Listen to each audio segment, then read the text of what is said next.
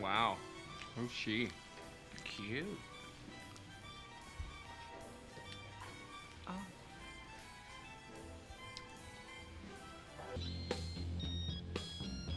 Miami. Miami? I'm talking a ceiling of maybe 300,000. So this fish will fly. Oh, yeah. But is there heat? Body. Dr. Cooper? Dr. Cooper? Dr. Cooper.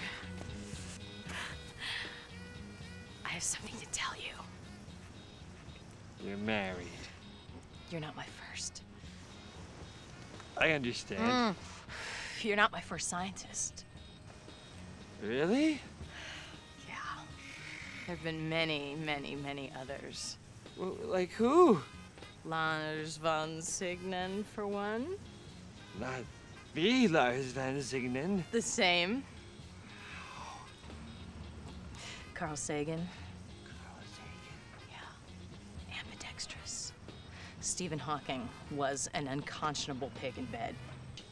You know, I've heard that. Well, you have slept with a lot of scientists. Thanks.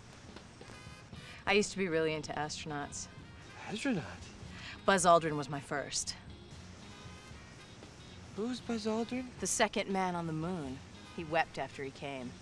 He felt so inadequate because he wasn't the first. He was the first. I mean, he was my first. He just wasn't the first man on the moon.